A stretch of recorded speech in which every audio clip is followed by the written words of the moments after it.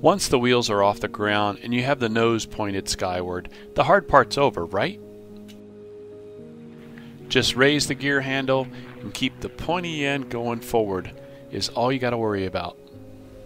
Well, just maybe there might be some more stuff you need to take care of. The takeoff and the landing are considered critical phases of flight, but now that you have the aircraft in the air, the real hard work begins. In episode 3, I'm going to cover all the crucial things that I do while I'm climbing up to my operating altitude in the P 51 Mustang by Eagle Dynamics.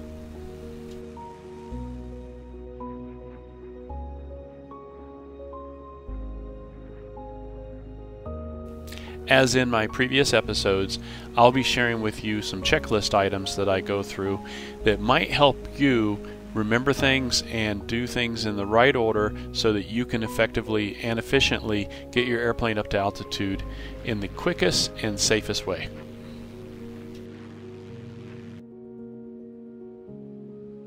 This is episode 3 of 6 for the P 51 Mustang, which is part of a larger series in the Air Warfare Group on warbirds in general. I hope you guys enjoy the video.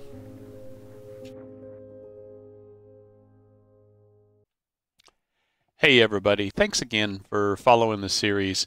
And so I want to share with you some honesty here. I'm not an expert at this, and I'll tell you, for the first year or so flying the Mustang, I was doing everything wrong. I was burning my engine up, running out of fuel, uh, I, I, can't, you know, getting lost, uh, getting killed by the bad guy. Uh, and it really takes a lot of time. But if you go about a methodical way of learning your aircraft, uh, learning what each system does, spending some time reading in the books, uh, looking at the manuals, look at the ED manuals, look at the Chuck's guides. I use the Chuck's guide as a quick reference. If I'm looking up something or I need to recall something I haven't done in a long time, I go to the Chuck's guide. If I'm starting with a new airplane, first thing I start with is the Eagle Dynamics manual, and then occasionally I will go and look at the real world manual just for historical purposes to see what that manual offers me. So I really encourage you to sit on the ground with the engine off and the canopy open and maybe a beer in your hand and go through the cockpit and the manual at the same time and learn what each gauge does, look learn what each switch does and learn how it affects each phase of the flight or each different period of the flight that might affect how you climb or land or take off or do anything in the airplane uh, flying on a World War II map in a World War II aircraft is probably my favorite thing to do in DCS World. Uh, and you guys will see that a lot in my videos. Um, but a lot of the stuff that you're doing while you're climbing to altitude, while you're getting up to go join up with the bombers or join up with your fighter group that you're going to do a sweep with or do a, a cap with, is one thing that you're constantly going to be doing during your flight is you're going to have to continue to aviate navigate, and communicate.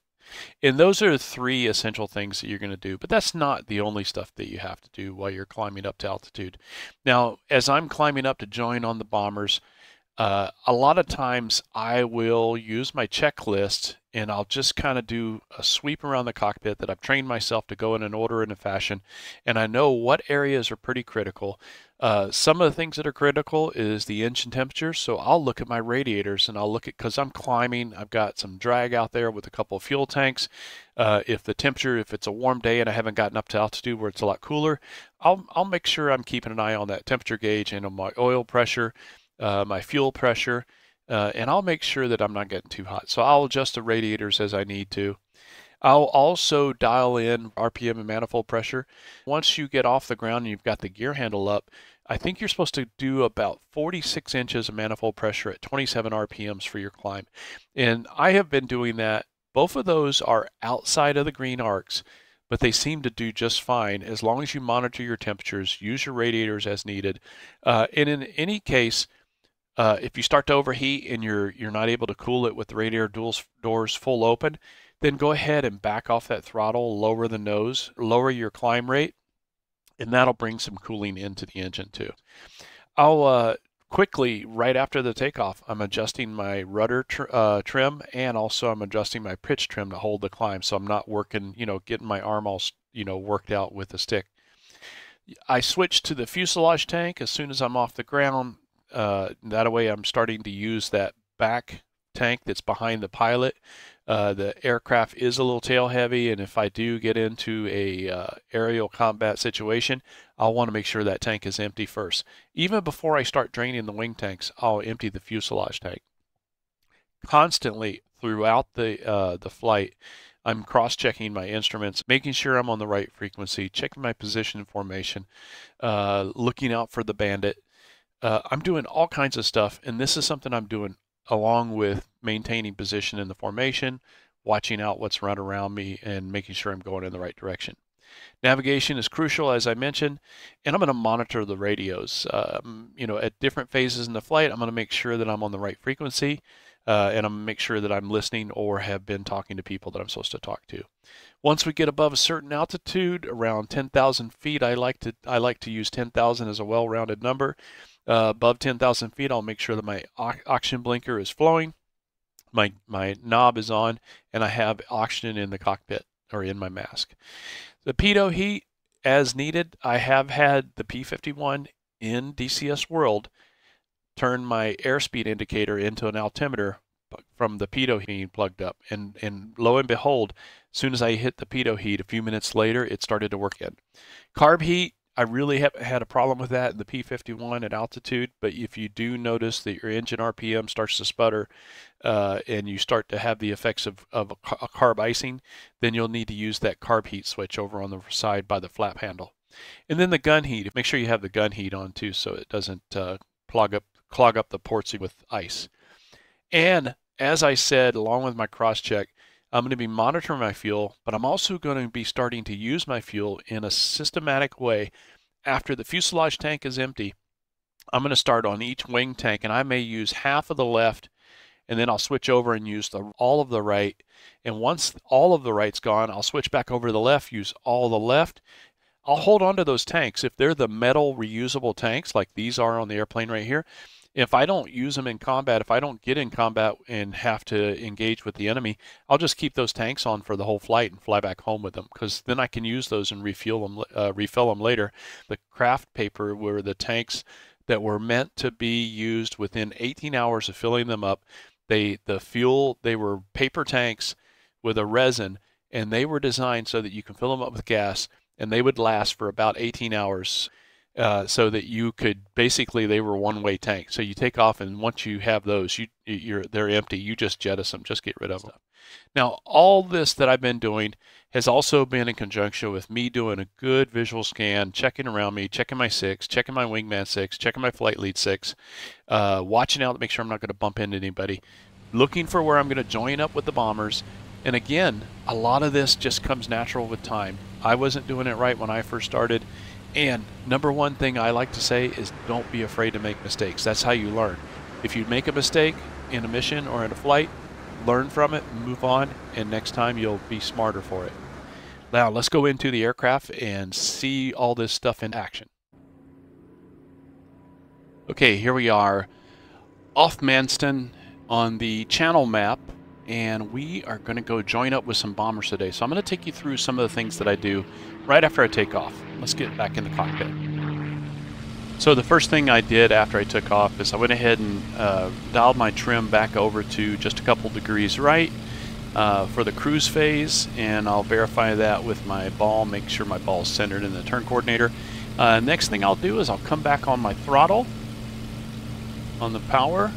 I'll bring the RPMs down to about 2700, 2750 and then I'll take my manifold pressure and bring it back to that 46-ish inches. And I've got it about 48 right now, actually about 47. And I found that worked pretty good for me. You can see my temperature gauge. I'm monitoring my temperature right now on the uh, overall temp right now is in the green. Uh, however, the, the temperature of the, uh, of the oil is just right now it's a little bit high. So I'm going to keep cooler doors open Let's see, I just put them in automatic mode. Let's see what happens. See if it brings it down. And if I need to, I'll open those up. But as I climb altitude, uh, climb in altitude, it should be a little bit better. So with that temperature there, I went ahead and lowered my nose And watch, I may, there you go. Now I'm opening up both cooler doors again to get some cooling so I can increase my climb. So I lowered my nose a little bit. Still on the frequency. I'm still watching out for my wingman or my flight lead. Looking around, make sure I'm not going to bump anybody. Right now we're over home base and there's nobody raiding on us, so we're going to go ahead and follow our navigation plan.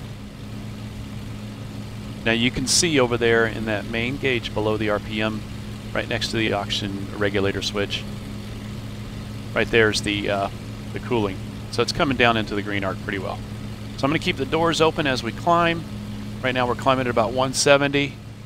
Looking for the bombers. Where are those guys? They should be coming up here soon. We're going to farm on a group of B-17s today.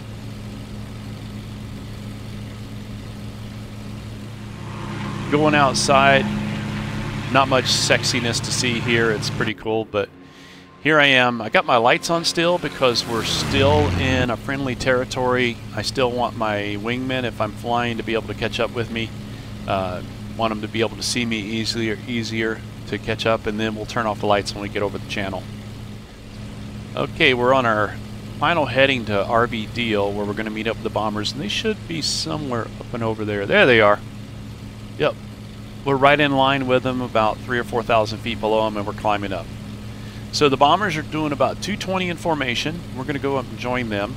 And so we're watching, we're just managing our heat, making sure that we're going to stay in our assigned travel area until we rendezvous with them. And we're going to maintain 140 right about there to deal. And those bombers are getting closer.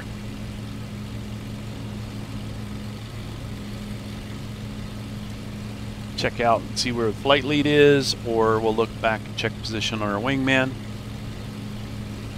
Make sure we're on the right frequency. Right now we've got the pitot heat and the gun heat on. All ready for the, and get ready for going over 10,000. Cooler doors are still open, trim is set. Pretty much flying at fingertip pressure and you can see the ball is centered there. My range on the K14 sight. I'll set that up. That was my wingman calling in. He has visual. Called me Skipper. That's my guy replying back to him, white leader out. And then I am going to pick up my speed. We're now at 200. We're going to pick it up to 220. We'll probably go a little faster to, to catch up with the bombers and get over top of them. And at some point, I'm going to set my gun range to a thousand yards, and I'll set the wingspan on the K-14 sight to 40 feet. You'll see that pop on here in a second. This is a replay track I'm using right now, so I'm just got my head tracker in the cockpit.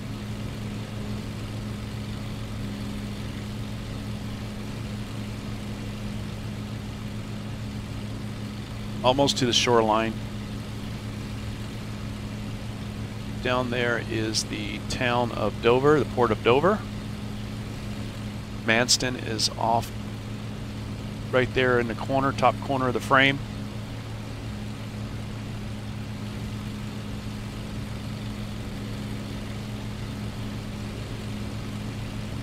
All right, the gun is set. Let's bring the wingspan over. There we go. Take it back down to right at about 40. There we go. That's close enough. Pimpernel, Able. We have tally. Boy, are you guys a sight for sore eyes. Didn't want to hit the coast without an escort. Able out. If you guys are interested in this mission, we have a four-player and an eight-player version of this mission. I think the four-player Mustang version is loaded onto our air warfare group. I'll put a link in the description where you can download this mission if you want to play it with like up to four buddies in P-51s and go on this escort. I'll give you a hint. There is there is bombers involved and there is enemy fighters involved too. So you're escorting a group of B-17s that you can see on the horizon there. They're going to be dropping bombs on a on a V-1 rocket site.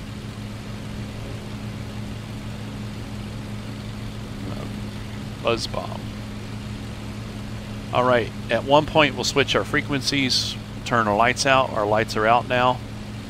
Went ahead and turned both of those down and off in the middle position. You'll see down there where those roll, roll of switches. I'll put my cursor here. I don't think it shows up on the recording, but I'm putting it down here. You'll see right here, where when watch this move. Well, it doesn't move because I'm watching the replay. Ha! so right now we have fenced in over the over the channel. We've got our lights off so that we're sanitized a little bit. No need in giving the enemy any other advantage. Now that our cooling, we're almost altitude and our cooling is well managed, we went ahead and went automatic on the radiators, on the cooler doors, and we're simply going to form up with the bombers. That pretty much concludes episode 3, guys. Be sure to leave us a comment on tips you've found on climbing in the Mustang or any other warbird. Uh, tell us a little bit about uh, some of the, the mistakes you were making and how you learn from them. And that's, again, I can't say it enough. Don't be afraid to make any mistakes. We're all going to do it. You'll learn from it and you'll get better. So now we're just going to go over here and climb up and weave across the top of the bombers and stay close to them in case the enemy comes up. This is Juice. I'll see you guys in the next video. Thanks for watching.